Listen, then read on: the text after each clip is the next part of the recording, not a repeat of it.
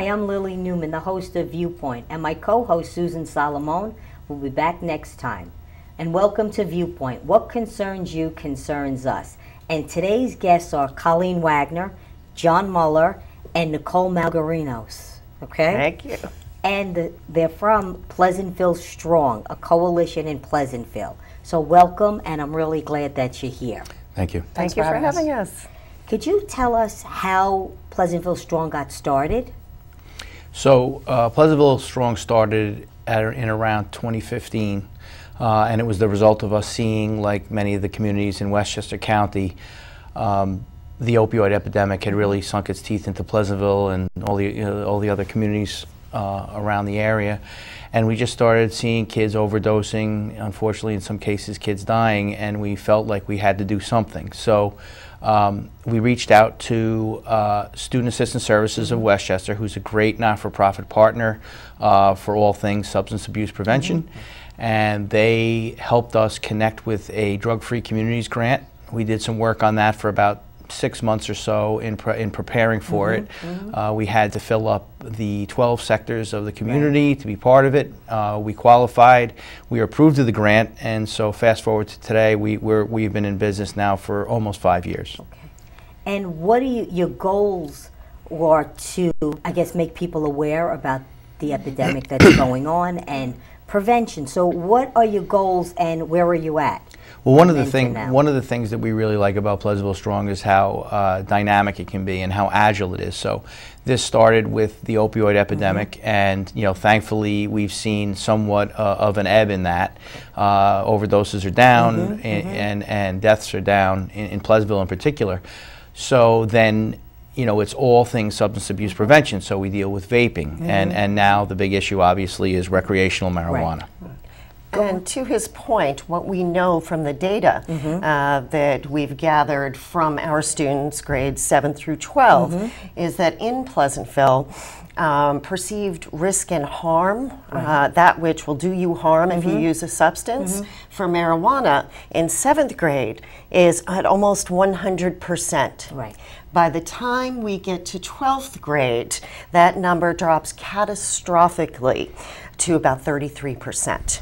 So, what you're saying is that kids in seventh grade think there's a huge harm in using marijuana, but as they go through by 12th grade, they don't think it's much harm at all. Correct. Mm-hmm. Correct. The coalition has allowed us to, to really tap into what our community in particular is concerned about Mm-hmm. Right. and what's going in. And I think that's, you know, the beauty of a, a community coalition. Right. Mm-hmm. So, you know, we've evolved. In the very beginning, it was a lot about education, but also learning what people felt was harmful and Mm-hmm. what isn't. And, you know, as we got better uh, at gathering the information, we've been able to initiate um, a lot of education, information, and programs on prevention. So, the big thing is, as a town, village, Village. village of Pleasantville, where do you stand on this recreational marijuana? I mean, it's huge. It's So, I mean, we have great concerns, um, and you know, as a community, uh, we have been able to um, organize, uh, you know, different partners in the community to meet with our school district, which has been incredibly supportive, um, and also our trustees, we have, uh, and our mayor, to try and uh, you know put some roadblocks in between our kids right. and the use of marijuana. And I Mm-hmm. think certainly as a coalition, you know, we're we're missioned with trying to reduce and eliminate underage substance use. Right, right. That, th- that's what it is. We're not talking about what consenting adults Right, should do or right. not do. We're That's talking right. about our kids. Right. Mm-hmm. And so there's grave concerns about what's going on. And I think one of the concerns that we all have talked about Mm-hmm. is the information that's out there, who it's coming from, and what the context is of that information. Because this is a business. Right. And we're putting that against the health of our children. So, you know, we have grave concerns about that. Anything you'd like to add? Uh, I would say that what people need to understand with this whole push to, to, to legalize recreational marijuana mm-hmm. is that the push is not by people that you know don't believe in social justice mm-hmm. and, and that communities of color haven't been disparately impacted. They have, and we recognize that. But one, I think many, in many cases, they're conflating the issue between mm-hmm. uh, decriminalization versus legalization. Right. And I think what we'd like to get out to people is if you really look at what the money is and the powers behind the push for uh, legalized marijuana, it's big tobacco, it's big farm, and it's big alcohol. Right. And all you have to do is look and see some of the investments that have been made. Uh, Coors Light's parent company put four billion dollars into a grow company in Canada. So what we what people need to understand is is that you know these the in, in particular alcohol and, and tobacco industry has not been particularly responsible or concerned that's right. about the welfare and well-being and now we're going to allow them a legalized product Right. that's going to be able to be marketable advertising Right. and things like that and it's going to be laser focused on kids Right. and the one thing we do know is is that you know 30 years ago the potency of marijuana was way less now it's about 90% That's right. uh, we are starting to see uh, documented cases of marijuana psychosis Mm-hmm. with young kids um, because their brains are developing. So in general, I think that's the main thing is that we shouldn't be conflating, at least in my opinion as a parent, we shouldn't be conflating the decriminalization Mm-hmm. Right. versus the retail uh, legalization. You you know, we've got the benefit of uh, other states preceding us who have have have legalized it and, and what the results have been. Right. And and you know, I think we need to, to learn from that. That that a lot of the issues that they thought would go down, for example, even alcohol use. Right. have not. Right. There's more kids using. There's more arrests. There's more ER visits. John Nicole and I were recently at a so Pleasantville is a village within the town of Mount Pleasant, and uh, their chief of police came in and said for the first time they're seeing marijuana overdoses. And that's not something that That's we've something faced we've before. That's right. You know, and so again, it's really about the safety, you know, of our kids, and and and and it's, you know, what's been presented in the budget is is to legalize recreational marijuana, and I take issue with recreational, the word recreational, um, because it's become a coping skill. Right. Mm-hmm. Um, but there's no money in anybody's budget for, for prevention, for Right. education, for treatment. Mm-hmm. So, you know, we're going to open this, the can of worms and we're not going to be prepared for what we already know in the other right. states that have legalized it is going to happen here too. Right, right. And in response, our community mem- members have come together, our school board, as well as our board of trustees.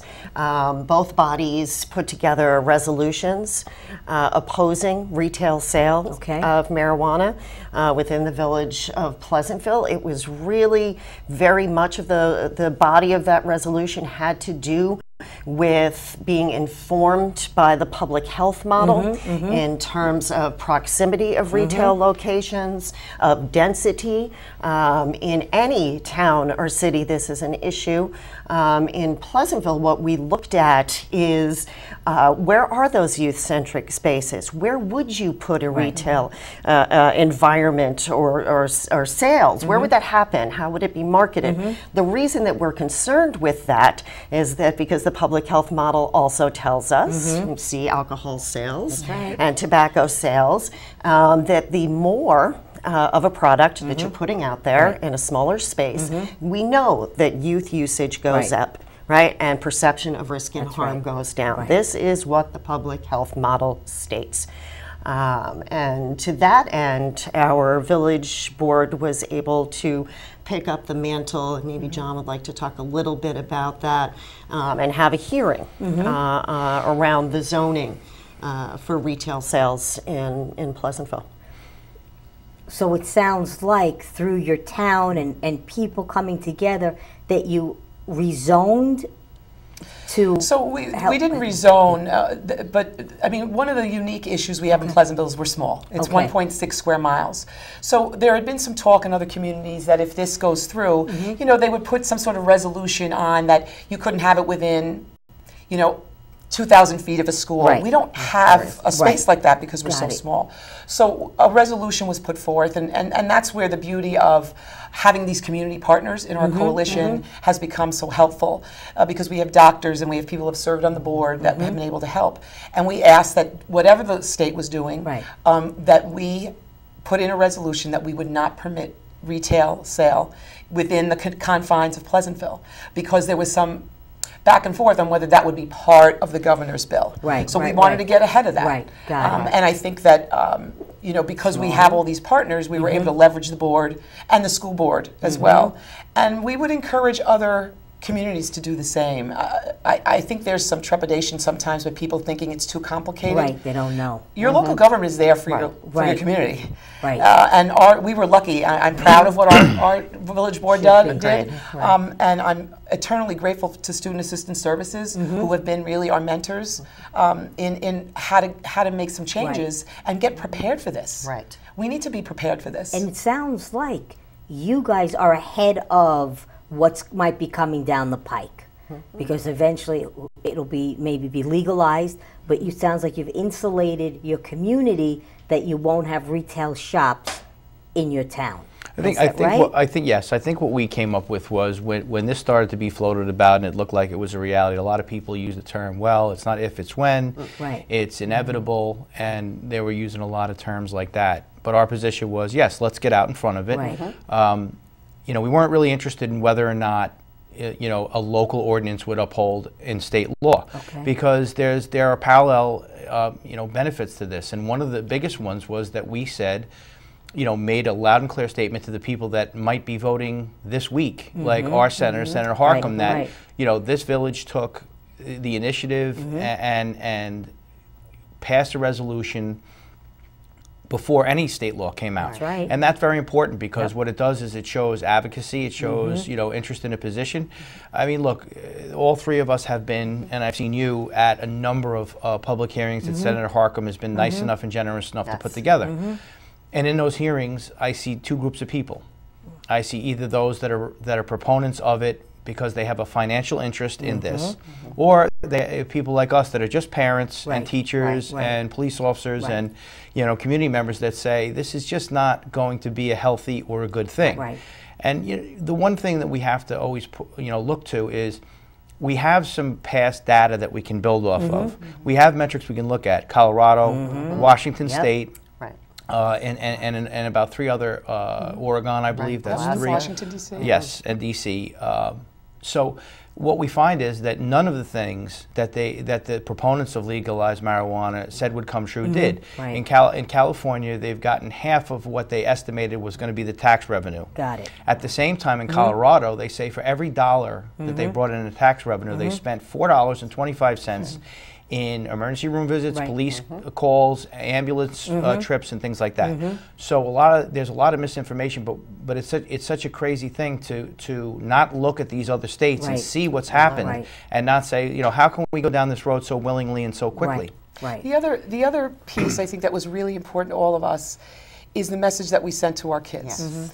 Uh, is, is that even if whatever the resolution was would have been in conflict or needed to be adjusted, we want our children to know that we believe that this is a harmful drug Right. For anybody's brain That's right. that's under the age of 20. That's right. Which is what you said. And so anyway. it was a message that we needed to send, right? Uh, this, because I think all of our concerns come out of the research shows Mm-hmm. Right. clearly that the longer we can keep a child away from substances, the better their brain's going to be. It's a developing brain. So we want to keep them as far away from it as we can. So I think that, I mean, that was probably one of the most well attended village meetings we have ever had. And I know because I used to serve on the village board. right, And we have a lot of empty seats in our meetings. right. Um, that was a huge message to our kids Right. that it's harmful, that we're concerned about you. Um, and so I, I was really happy, you know, just, just on that. And, and, and again, you know, that they were great partners, and the senator has been a great Right. partner to us. And It's Agreed. amazing what you've accomplished. And I think when you say other villages and towns can do this, but I think when they think of it, it's so overwhelming that they don't know where to start. Right. Yeah, go ahead. I would rely, as to Colleen's point, heavily on your uh, sector partners. We couldn't have done this without the village. Um, you know, the, the coalition members who are working as physicians or accountants, they don't know how to do an environmental assessment right. and bring a new a zoning law to the county. I mean, there is a whole process. Um, but there are experts, uh, and those folks believed in what the community was saying around their concerns, and we're able to pull those resources together um, to get that assessment in, to provide mapping services. Uh, to Colleen's point before, we literally, the community was able to layer maps of youth-centric spaces in the community. So these are schools. Right. Here's a layer of schools. Right. here are a layer of recreation and parks. Got it. Uh, so on and so forth, arts, entertainment, restaurants. And what we, what we found is that you literally couldn't go 200 feet, Mm-hmm. sometimes 20 feet, um, before you came upon another youth centric space within the retail environment. So what does that show? So what that shows is that typically um, zoning laws are written to say, well, 500 feet away from s- from a retail and you know Mm. A. Mm-hmm. a school a youth centric for a retail. Got it. Right, and in this case, that was not possible. 500 was is a huge reach. Right, That's right, just right. never going to happen. Right. Mm-hmm. In many communities, there are already laws in place that say you can't have a bar Right. or an alcohol Right. beverage provider X amount of feet away from a school. Mm-hmm. Right. So again, leaning on and being informed by the public health model. None of this is new. Right. We need to be looking at retail marijuana in the same way that we do all other substances that are regulated and for adult use only. So then, when you did your map and your layering, and you saw that you can't go more than maybe 20 feet some cases, before right. you get to kids or a place where kids would be, that would mean that they would put a, a shop, a dispensary in those areas. Okay. I mean, if you didn't put in any type of uh, change to the current code, you know, any business could go in any area. Got and it. so this way, by us petitioning and, uh, the, board and asking them to put a resolution, it would disallow that because at the time, this was a couple of months ago, there was a lot of question as to whether the governor was going to put that language in or Right. not, and we wanted Right. to be ahead of it. And, and, and Lillian, just sort of to your point, John really was the, the, the Kickstarter uh, of uh, Pleasantville Strong. But it, it, it, we didn't set out necessarily to be this big sort of advocacy group. We were looking to protect community members.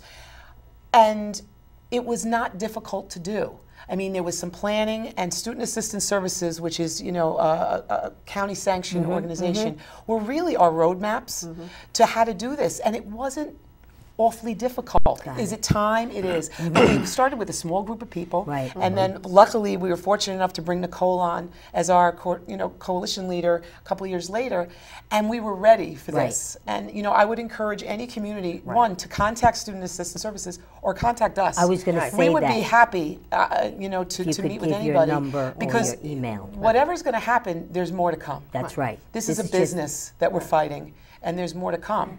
Because you think about if you have Colorado and Uh-huh. you have Washington, you have all these other states that are clearly telling you this isn't working. right. You know, arrest rates are up. There are more shops than there are McDonald's and Starbucks in Colorado. Why would we think that we would do this Hmm. here in New York in in our communities? Why aren't we listening? Right, and it's just not a good business plan.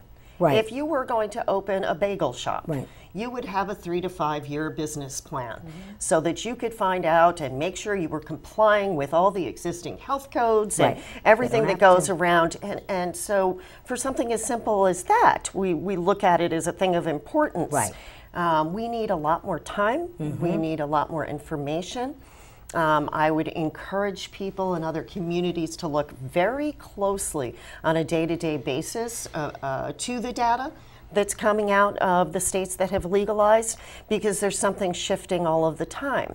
You know, they're uh, in Washington quite recently, they've been trying to regulate, figure out how to regulate edibles because they're so potent and they're seeing youth poisonings and overdoses. Um, and, you know, so they're thinking about things like, well, do we tax that? Uh, uh, at a higher rate. I mean, these are things I don't think they ever anticipated having to deal with. Nor, Right? nor do we have the technology to, to measure marijuana. Right. For driving, Right. for operating machinery. That's right. We- So There the is none. technology isn't where you know right. we needed to be. One of my really grave concerns right now is the information that's out on the internet, and uh, you know that there are uh, for-profit organizations Mm-hmm. sort of looking like not-for-profit organizations and having similar web pages and similar names and putting information out there Mm-hmm, that isn't necessarily um, Correct. Okay. And what I would ask people is to really look at what you're reading and where it's coming from Good- and what the point. motivation Right. behind it is. Because, look, we could all put out lots of things with numbers and make the numbers look the way we want. But there's a big difference between somebody who's going to make some money Right. telling you what's right, and there's another when you have people who are just looking for safety. So I would encourage people to That's really, very, very good to point. really look at things more carefully. And even if you look at the polling, uh, you know, the polling may, may tell you that uh, the majority of New Yorkers are in favor of, uh, in favor of legalization of Mm-hmm. marijuana. But when you drill down and you ask a person, say here in Carmel, and Right. say, well, let's say that we can, we're going to legalize retail marijuana and you're for it.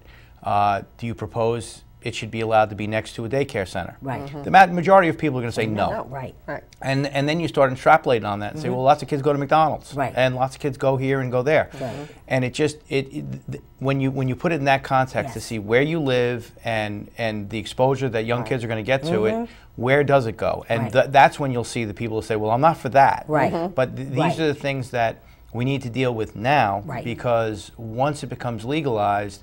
And you know, make no mistake, big tobacco and big alcohol Mm-hmm. have lots of money invested in this. They're hyper focused marketing. Uh, they're going to make sure that they do everything they can because their business model is if I can get someone uh, to start smoking marijuana, right. the younger I can and the longer they do.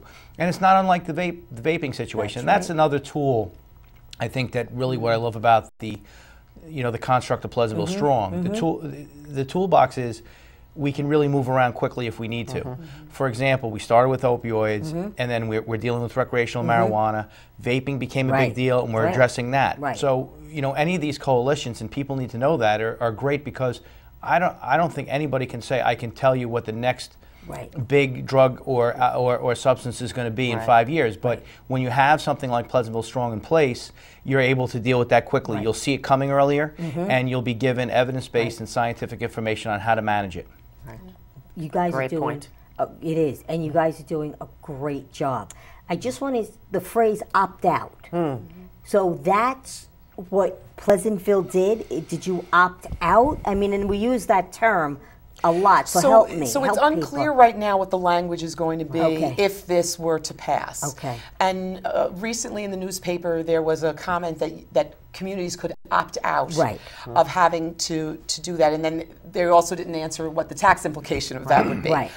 So what we did is to say that we we're not we're not going to we're not going to do this. We're not going to allow uh, recreational sales in the community in case the resolution that came out Right. didn't give you an opportunity to opt Got out. it. And there still may be work to do because Right. certainly a local law can't be in opposition to a state law. Right. So we would need to relook at that. But again, we wanted to get ahead of it. Um, so that there was something in place, because this came up very quickly. Yeah. This was thrown in a budget, That's which right. thankfully that wasn't Yes. allowed to happen, so there wasn't a lot of talk Right. about it. And Right. I think that that you know Albany heard um, communities to get it out, and they did. And now there's some time to talk about Mm-hmm. Right. this. This needs to be done right. Right. Mhm. And I mean, you and I well know, um, being in the mental health world, there isn't treatment now Mm-hmm. Right. Right. for children Thank you. uh, with right. substance abuse issues. Right. We introduce a drug that's going to be more accessible right. and more potent than anything that we've seen. Where is the treatment going to be? Where is the money going to come right. from? Um, it concerns me. Right now, there's maybe two Right. Maybe. facilities in New York that'll treat a child under 18. That's right. Not many. You know, uh, so there are real concerns about you know mental health of our kids. So your motto is don't don't plan to opt out. Do something now so regardless of what goes on, you're at a position and a place to say not in my community. Especially for the legislators, when those people are looking and they do pay Mm-hmm. attention and they do show up to these meetings, they, they came. they I mean, Right. representatives from all uh, our legislative uh, representatives came. Uh, even if they didn't come personally, they sent a representative. And it's a very strong message to say this village took a position, that village took a position. Right. That's how. Uh, that's how county executives, uh, you know, t- test the water. I- Right now, the opt-out is for cities that are over 100,000 Yes. Mm-hmm. or counties. Mm-hmm. So, uh, right now, Suffolk, Nassau, Right? I believe Dutchess and Putnam have already said, you know, they're out. They're not. They're not going. They're going to opt out. Really? Yeah. That leaves Westchester. County Executive mm-hmm. Latimer has said, wait and see. Let's Right. let's see what happens. But even he has said, you know, it looks like at this point it's about 50-50. I think when you start asking very pointed questions about not just legalization or social justice, uh, you start asking like the logistics of everything. Right. Right. You'll find many more people that are opposed, and so maybe they'll opt out too. But we'd like to, we'd recommend to everybody just get out in front of it now because Right. if even if your village board doesn't go for it, you're Mm-hmm. sending a message that you're taking a position and you're paying attention. Right. And then the people, the elected officials, going to have to listen to what you're saying if more people are saying no instead of just not saying anything. Right, Senator you're- Harkness you're- listened. Yeah, and you're, you're raising awareness. Right. You can't presuppose that our legislators have all of the Right, they information. They, have a lot going on Right. and a lot on their plate. So it's, as a constituent, if there's information that you want that's evidence-based and real data Right. that you think that they need to hear, mm-hmm. go right ahead and make that move and send them that information. You know, we're almost out of time. Would you look at camera three? That be for Nicole, mm-hmm. and give them, if you don't mind, the your website where they can get more information. Yes, For you, you can find us at pleasantvillestrong.org. That's our website. You can also find us at Strong Pville Strong One for Twitter. Uh, we're on Instagram and Facebook, very easily found. You are can also email me if you'd like some more information. Again, my name is Nicole Malgarinos. This is a long one. Maybe we can put it up. It's but right. just give it it's to 'em anyway. Pville Strong Coalition Coordinator at Yahoo. Uh, thank you so much, Lillian. Oh, thank you. It was really exciting having you here to discuss this because this is here. It's not down the road, and and he has to vote in a couple of days. I think the budget, and who knows if it's in, if it's out, because you hear different stories. I Well, we don't know. appreciate you providing us with the venue here and, and on all the topics. You um, come back, Viewpoint. We really, and you will we'll just keep love it. doing this and figure out it. what we can do to stop this from happening. So we just keep talking. All right. Hmm. Thank you, Lillian. No, thank you. Thank-